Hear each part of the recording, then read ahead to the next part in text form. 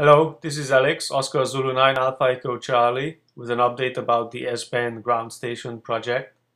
As you can see, I have finished the antenna and mounted it on a camera tripod.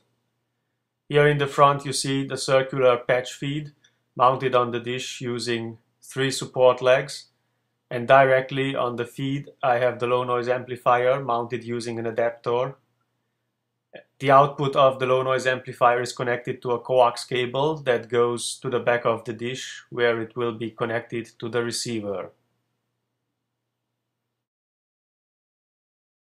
On the back side of the dish, Google Lunar X Prize stickers, very important, and you can see the cable coming out.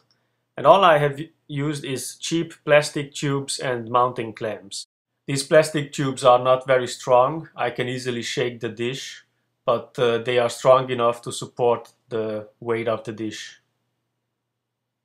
Thanks to the construction of the camera tripod, it is very easy to point the antenna in different directions in the sky. All I have to do is to loosen the screws and I can point the antenna in almost any direction. I can go 360 degrees in azimuth and almost 90 degrees in elevation. So very simple and very well working as you can see. And because of the long arm, I don't need to use much force to move the dish. It's actually very easy.